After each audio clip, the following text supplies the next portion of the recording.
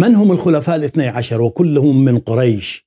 وفي حديث آخر وكلهم من بني هاشم الذين ذكرهم الرسول صلى الله عليه وآله في الأحاديث الصحيحة في جميع كتب أهل السنة والجماعة وخصوصا البخاري ومسلم.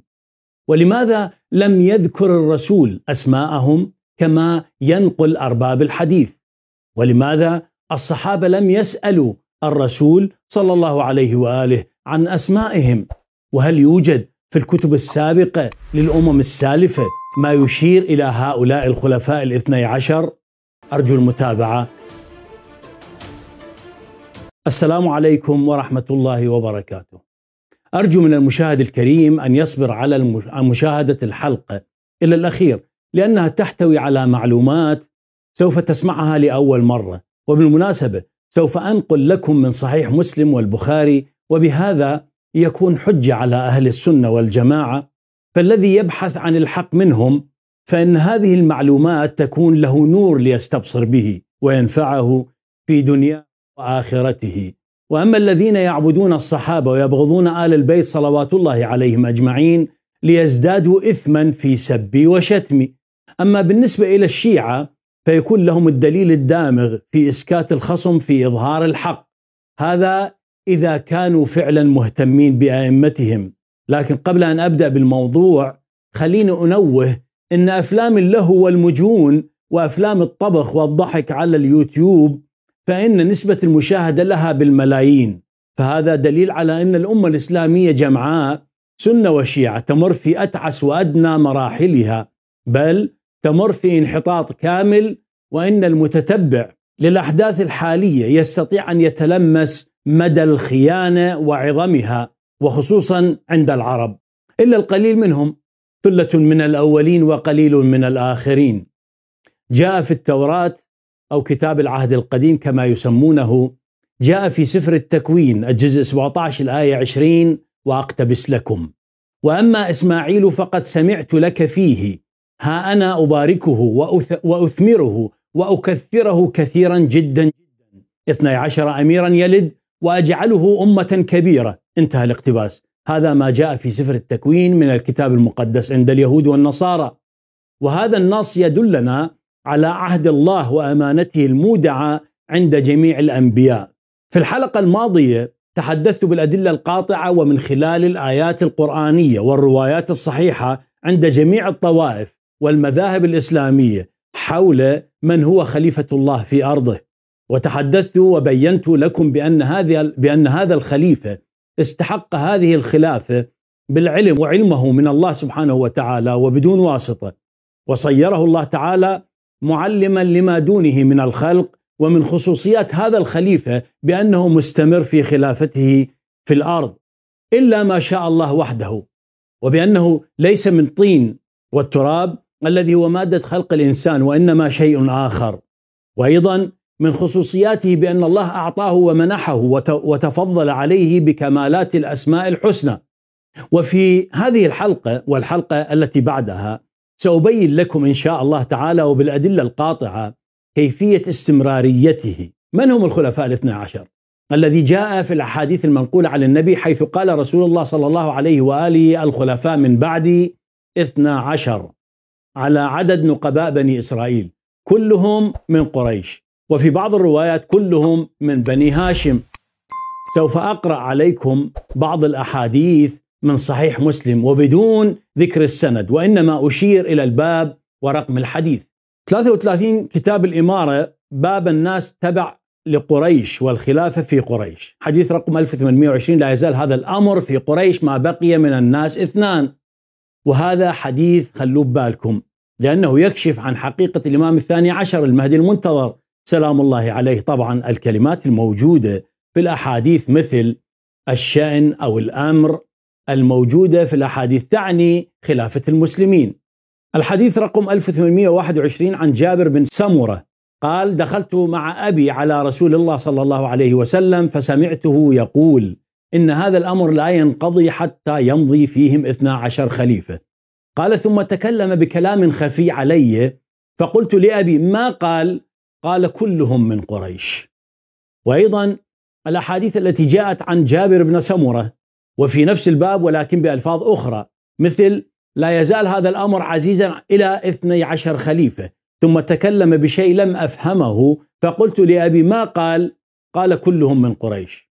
وجاء في مسند أحمد طبعة الرسالة جزء 19 حديث برقم 12307 وظاهرا هذا الحديث فيه خطورة وسيتبين لكم عن بكير بن, بن وهب. قال قال لي أنس بن مالك أحدثك حديثا ما أحدثه كل أحد. إن رسول الله صلى الله عليه وسلم قام على باب البيت ونحن فيه فقال الأئمة من قريش إن لهم عليكم حقا. إلى آخر الحديث. وفي الحاشية يقول حديث صحيح بطرقه وشواهده. جاء في صحيح البخاري كتاب الأحكام. باب الأمراء من قريش حديث رقم 7140 عن ابن عمر. قال رسول الله صلى الله عليه وسلم لا يزال هذا الأمر في قريش ما بقي منهم اثنان. لكن في الحاشية وكما معروض أمامكم في ترجمة قوله باب الأمراء من قريش حديث أخرجه أبو يعلى والطبراني وفي لفظ الطبراني بين قوسين. الأئمة بدل الأمراء وله شاهد من حديث علي رضي الله عنه. وفي مسند أحمد جزء واحد صفحة 398 بسنده عن الشعبي عن مسروق قال كنا جلوس عند عبد الله بن مسعود وهو يقرأنا القرآن فقال له رجل يا أبا عبد الرحمن هل سألتم رسول الله صلى الله عليه وآله كم يملك هذه الأمة من خليفة؟ فقال عبد الله بن مسعود ما سألني عنها أحد منذ قدمت العراق قبلك. ثم قال نعم سألنا رسول الله. فقال اثني عشر كعدة نقباء بني إسرائيل.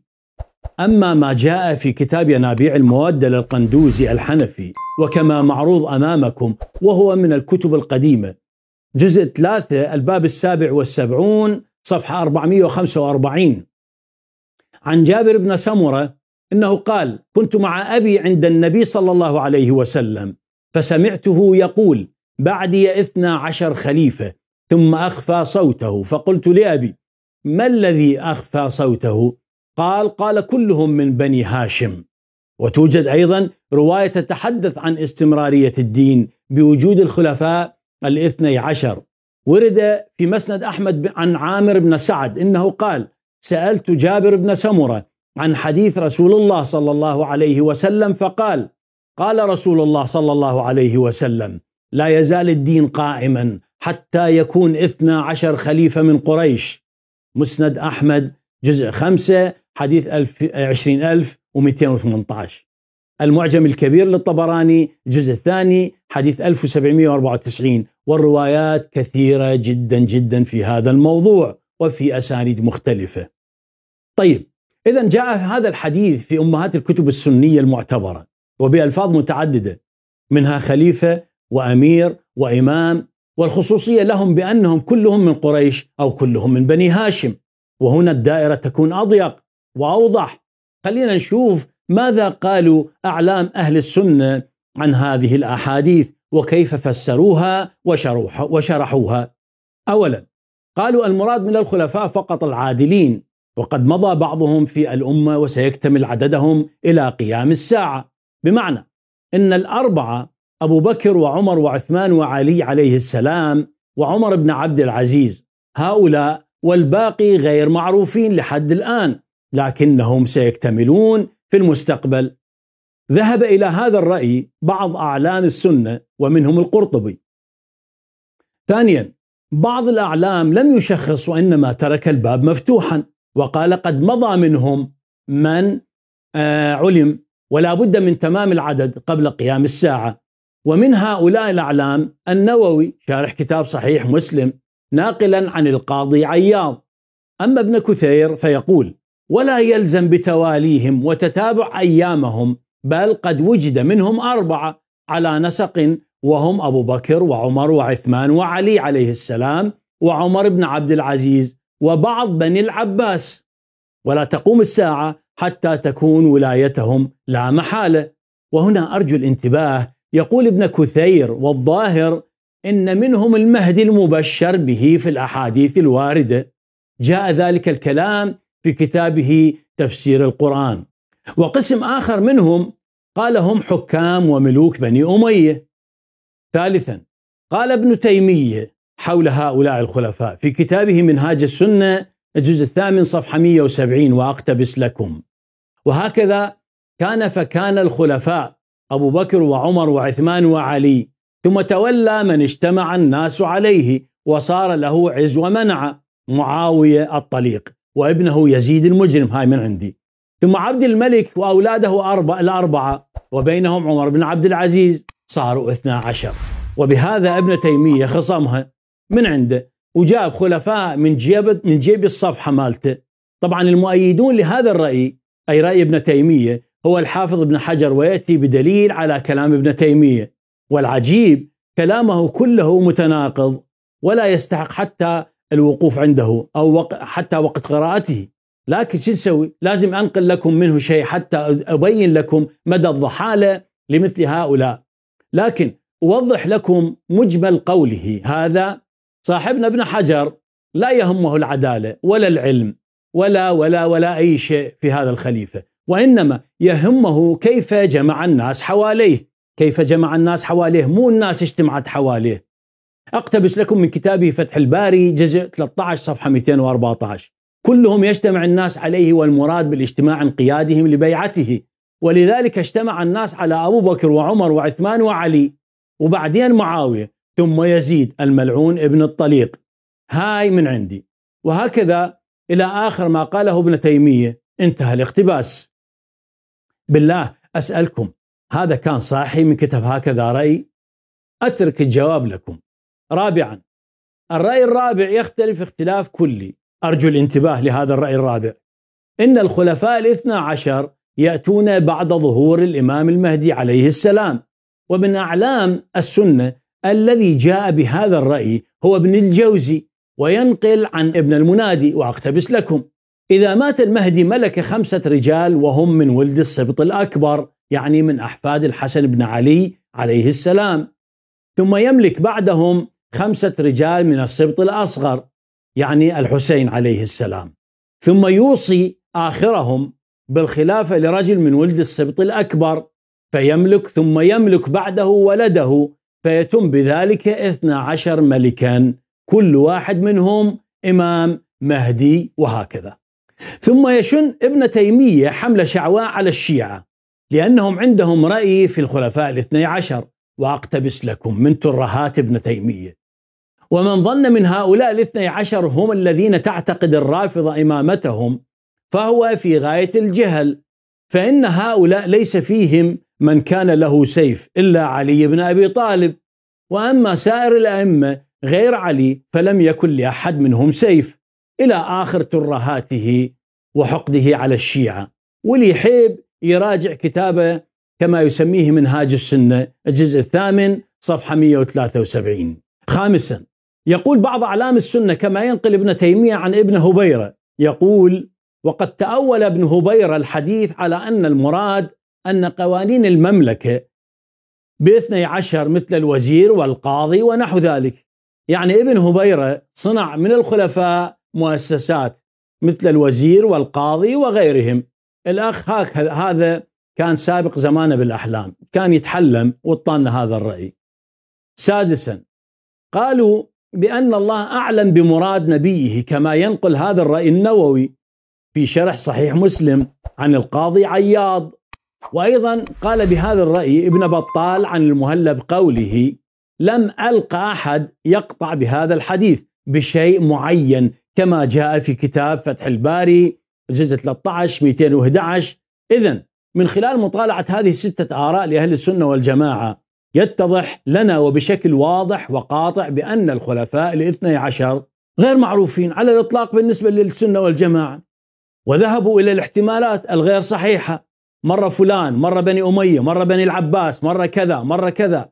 وإن الأسماء التي ذكرها رجال الدين السنة لا تستحق حتى التحقيق بشأنهم.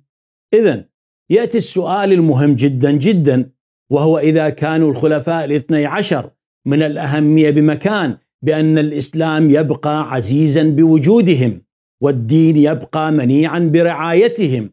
وفي رواية أخرى لا يزال الدين ظاهرا على من ناواه ولا يضره مخالف لاستخلاف الاثني عشر خليفة. وإن الأمة الإسلامية في منع وعز وغيرها من الوصفات الكبيرة والعزيزة بوجود هؤلاء الخلفاء الاثني عشر. فلماذا لم يصرح الرسول صلى الله عليه وآله بأسمائهم؟ ولماذا مثل هكذا قضية مهمة جدا وخطيرة بنفس الوقت؟ لماذا لم يسأل الصحابة عن أسماء هؤلاء الخلفاء؟ والمعروف عن الصحابة بأنهم يسألون عن أشياء ليس ذات أهمية. وكما صرح القرآن يا أيها الذين آمنوا لا تسألوا عن أشياء إن تبد لكم تسؤكم. إلى آخر الآية 101 سورة المائدة. ومن هذا التساؤل ينتج لنا الاحتمالات الآتية. الاحتمال الأول أن النبي صلى الله عليه وآله لم يصرح بأسمائهم واكتفى فقط بأن قال الخلفاء من بعد اثني عشر. وترك الأمة ودينها بلا راعي وفي ظلام دامس وأن الصحابة سمعوا ولم يسألوا وكأنهم لا يهمهم الدين والإسلام والأمة بل ولا يهمهم مستقبلهم ومستقبل عوائلهم. فهل هذا معقول؟ الجواب لا يجوز هذا عقلا ولا منطقا قطعا. الاحتمال الثاني بأن الصحابة سألوا لكن النبي صلى الله عليه وآله لم يجيبهم. وتركهم يتخبطون بالفتن التي تأتي من بعده ولا يهمه الدين والحفاظ عليه. وخالف ما قاله هو صلى الله عليه وآله. حسب الروايات المنقولة بأن وجود هؤلاء الخلفاء هو الحفاظ على الدين وهذا أيضا لا يجوز قطعا لا يجوز لا منطقا ولا عقلا ولا حتى من الدين بشيء. إذا بقي احتمال واحد وهو الذي حصل فعلا. إن النبي صلى الله عليه وآله صرح فعلا بأسمائهم وبعدة طرق مرة بالتصريح وأخرى بالتعريض. ولكن يأتي السؤال إذا لماذا لم تذكر الروايات الواردة عن الصحابة أسماء هؤلاء الخلفاء؟ الجواب لهذا السؤال يبدأ من المؤامرات للمنافقين في زمن حياة النبي صلى الله عليه وآله. إلى حين الانقلاب العسكري الذي حدث بسقيفة بني ساعدة بقيادة قريش. وتهاون واضح ودونية من قبل الأنصار. والدليل على كلامي على كيفية طمس حقيقة ذكر الأسماء. الدليل الأول في حياة الرسول وكيف أن قريش منعت تدوين أحاديث الرسول صلى الله عليه وآله. جاء في الصحاح في سنن أبي داود المتوفي 275 هجرية بتحقيق شعيب الإرناؤوط. طبعة آه، دار الرسالة باب ثلاثة. كتاب العلم حديث رقم 36 3646 بسنده. وكما معروض أمامكم واقتبس لكم. عن عبد الله بن عمرو قال كنت أكتب كل شيء كنت أسمعه من رسول الله صلى الله عليه وسلم. أريد حفظه. فنهتني قريش انتبهوا فنهتني قريش وقالوا أتكتب كل شيء تسمعه من رسول الله صلى الله عليه وسلم؟ رسول الله صلى الله عليه وسلم بشر يتكلم في الغضب والرضا. فأمسكت عن الكتاب فذكرت ذلك لرسول الله صلى الله عليه وسلم فأومأ بيده بإصبعه إلى فيه فقال اكتب فوالذي نفسي بيده ما يخرج منه إلا حق. انتهى الاقتباس. بمعنى أن النبي يأمر الناس بكتابة أحاديثه وقريش الإسلامية تأمرهم بعدم الكتابة. وترون في الحاشية إسناده صحيح وأخرجه ابن أبي شيبة الجزء التاسع صفحة 49 50 وأحمد بن حنبل حديث رقم 6510 والدارمي برقم 484 والحاكم الجزء الأول صفحة 105 106 وابن عبد البر في جامع البيان وغيره. فهل رأيتم يا أهل السنة والجماعة مؤامرات قريش على الرسول صلى الله عليه وآله؟ وهذه كتبكم التي تنقل لنا أفعالهم وليس كتب الشيعة. فردوها علي إن استطعتم ولم ولن تستطيعوا ردها. الدليل الثاني والرسول على فراش الموت حينما أراد أن يكتب كتاب حتى لا تظل الأمة من بعده. أبدا وقد منعوه الصحابة من كتابة هذا الكتاب لأنهم يعرفون جيدا بأنه سوف يكتب أسماء الأئمة والخلفاء الراشدين المهديين الاثني عشر. من بعده قد يسأل سائل ويقول من قال إنه أراد أن يذكر أسماء الأئمة والخلفاء الاثنى عشر؟ الجواب على هذا التساؤل إن أكبر وأشد اختلاف وأساس الفتن التي وقعت ما بين المسلمين منذ ارتحال النبي وسيبقى إلى يوم الوقت المعلوم مع بعضهم هي سببها الامامه والخلافة أليس كذلك؟ إذا سبب ضلال الكثير والكثير من المسلمين وسفك الدماء هو اختلافهم في الإمامة والخلافة وهذا الكلام ليس فقط ما تقوله الشيعة فإن ابن تيمية أيضا يقول مثل ذلك حينما يناقش رزية يوم الخميس وكتابه وكتابة الوصية. فإنه يقول يعني ابن تيمية في منهاج السنة الجزء السادس صفحة 24 و 25 وأقتبس لكم. والنبي صلى الله عليه وسلم قد عزم على أن يكتب الكتاب الذي ذكره لعائشة ويقصد به خلافة أبي بكر كما نقل الحديث البخاري ومسلم. وأكمل للاقتباس. فلما رأى الشك قد وقع علم أن الكتاب لا يرفع الشك فلم يبقى فيه فائدة. انتهى الاقتباس. يعني ابن تيمية يقول كان النبي يريد يكتب أبو بكر الخليفة. بمعنى أن ابن تيمية يقول بأن النبي أراد أن يكتب عهد بخلافة أبي بكر وهذا اعتراف صريح بأن النبي صلى الله عليه وآله ومن كتبهم بأنه أراد أن يكتب أسماء الخلفاء والأئمة الاثنى عشر من بعده. والدليل الثالث بعد استشهاد رسول الله صلى الله عليه وآله وسلم من أول يوم من صعود أبي بكر على كرسي الحكم. تعالوا معي لأقرأ لكم من كتاب تذكرة الحفاظ لأشهر أعلام السنة والجماعة وهو الذهبي وهو من أشهر تلاميذ ابن تيمية. وجاء في كتابه تذكرة الحفاظ وكما معروض أمامكم الجزء الأول في صفحة خمسة وأقتبس لكم. عن عائشة قالت جمع أبي الحديث عن رسول الله صلى الله عليه وآله وكانت خمسمائة حديث. فبات ليلته يتقلب كثيرا قالت فغمني. فقلت أتتقلب لشكوى أو لشيء بلغك؟ فلما أصبح قال أي بني هلم الأحاديث التي عندك. فجئته بها فدعا بنار فحرقها. فقلت لما أحرقتها؟ قال خشيت أن أموت وهي عندي فيكون فيها أحاديث عن رجل قد ائتمنته ووثقت به ولم يكن كما حدثني فأكون قد نقلت ذاك. وهنا أبو بكر أحرق كل الوثائق التي تخص التراث النبوي لشكه فقط بأن من الممكن نقل الحديث عن شخص يكذب. وتعرفون بأن الشخص الذي ينقل عنه الحديث أبو بكر حتما صحابي مثله. أليس كذلك؟ وهذا أيضا اعتراف. ومن كتبكم يا أهل السنة والجماعة بأن أبو بكر يعترف بصريح العبارة بأن بعض الصحابة كذابين. وحسب قولكم بأن أبو بكر هو من أقرب الصحابة للنبي. والمفروض لديه الكثير من التراث النبوي ومن ومن الحديث النبوي ومع ذلك أحرقه. وهذا دليل على الانقلاب العسكري الذي حدث في السقيفة لأنه من يتقمص الخلافة لابد أن يقضي على التراث حتى لا يكون عليه دليل. الدليل الرابع عصر الحاكم الثاني للأمة الإسلامية عمر بن الخطاب. كما جاء في كتاب جامع بيان العلم وفضله لابن عبد البر والمعروض أمامكم. والجزء الأول صفحة 249 رقم الحديث 345 بسنده عن يحيى بن جعدة أن عمر بن الخطاب أراد أن يكتب السنة ثم بدا له ألا يكتبها ثم كتب في الأمصار من كان عنده شيء فليمحه. وفي الحاشية يقول إسناده ضعيف وهو صحيح. يعني المتن صحيح.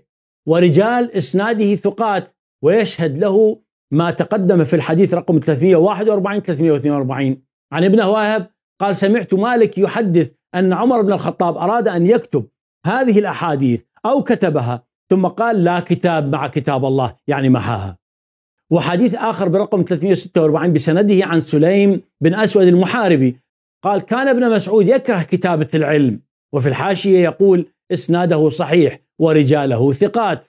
وأيضا في حديث رقم 343 بسنده إن عمر بن الخطاب أراد أن يكتب السنن فاستفتى أصحاب رسول الله فأشاروا عليه أن يكتبها إلا أنه رفض ذلك وتحجج بأن لا يخلط كتاب بكتاب الله. ومن هذه الأحاديث الكثير الكثير جدا في أن الصحابة شنوا حملة شعواء بمنع كتابة أحاديث الرسول صلى الله عليه وآله وسلم. وليقرأ عليكم هذا الحديث الذي يضع النقاط على الحروف لتطلعوا على المنع الصادر من قبل السلطة ورموز السقيفة وأبنائهم وأتباعهم على طمس حقيقة الخلفاء الراشدين المهديين. حديث رقم 355 في نفس المصدر السابق بسنده. وأقتبس لكم عن سعيد بن جبير قال كنا نختلف في أشياء فكتبتها في كتاب ثم أتيت بها ابن عمر يعني عبد الله بن عمر بن الخطاب أسأله عنها خفية فلو علم بها يعني بكتابتها كانت الفيصل بيني وبينه. وحديث رقم 357 بسنده عن الأوزاعي عن أبي كثير قال سمعت أبا هريرة يقول نحن لا نكتب ولا نكتب اذا هذه هي أوامر السلطة الحاكمة آنذاك بعد انقلاب السقيفه بقيادة قريش الإسلامية وزعيمها عمر بن الخطاب التي جاءت من رحم سقيفة بني ساعدة. أرادوا دثر كل شيء صدر عن النبي صلى الله عليه وآله. يريدون ليطفئوا نور الله بأفواههم. والله متم نوره. ولو كره الكافرون. آية 8 سورة الصف. حيث إن الله يأمرهم يؤدوا الأمانات إلى أهلها ولكنهم منعوها عن أهلها. أليس الدين امانه في أعناقكم يا أيها الصحابة؟ وأليس أن ما قاله الرسول امانه فلما لم توصلوها إلى أهلها؟ والعجيب مرة يتحججون بأنه يجب حفظ الأحاديث وعدم كتابتها ومرة أخرى يتحججون بأن من الممكن أن ناقلها ليس ثقة. وبعد ذلك جاءوا لنا بكتابين فيهما أحاديث الرسول صلى الله عليه وآله وقالوا بأنهما أصح الكتب بعد القرآن وأنشأوا الجامعات لغرض الحديث وجمعه وتصحيحه وأسانيده وغير ذلك. فإذا كان الحديث مهم إلى هذه الدرجة فلماذا تآزر على محوه الصحابة؟ وهذه كتبكم تشهد بذلك. وإذا كنتم تتبعون الصحابة وتقولون عنهم بأنهم حفظوا الدين لكم ها فلماذا أنتم إذا تكتبون الحديث وتصرفون في سبيل كتابته ومن ثم تحقيق أسانيده ورجاله الملايين والملايين من الأموال وهم لا يريدون ذلك الصحابة ما يريدون كتابه الأحاديث؟ فهل تلاحظ أيها المشاهد والسامع الكريم هذا التعارض والالتباس الذي يفضحهم في كيفية طمس ودثر أحاديث النبي صلى الله عليه وآله وسلم؟ أليس تسمون أنفسكم بأهل السنة والجماعة وإنكم أحفاد الصحابة؟ اذا فلماذا الصحابة وفي حياة الرسول لم يكتبوا أحاديث الرسول لكم؟ وإذا كان هناك شك أو كذب على الرسول في نقل هذه الأحاديث فليأتوا إلى الرسول صلى الله عليه وآله ويسألونه عن أحاديثه وهو بين أظهرهم وإنه صلوات الله عليه سوف يصحح لهم وتنتهي القصة. وتصلنا وتصل إلينا الأحاديث سالمة ولا يوجد فيها كذب. وتصل إلينا السنة صحيحة وكاملة ولا نحتاج إلى تكذيب أحدكم الآخر. ولكن القضية واضحة كوضوح الشمس في رابعة النهار. منذ أن منعت قريش كتابة كلام النبي في حياته كما قرأت لكم الحديث وأيضا منعته وهو على فراش الموت بقيادة زعيمها عمر بن الخطاب ومنعت كتابة حديثه بعد استشهاده. كما بينت لكم انتظروني في الحلقة القادمة لكي أبين لكم كيف أن الرسول صلى الله عليه وآله ذكر أسماء الخلفاء. بالرغم من كل المؤامرات وأيضا سوف أستدل لكم ومن خلال نظرية الاحتمالات الرياضية على أحقية هؤلاء الخلفاء والسلام عليكم ورحمة الله وبركاته.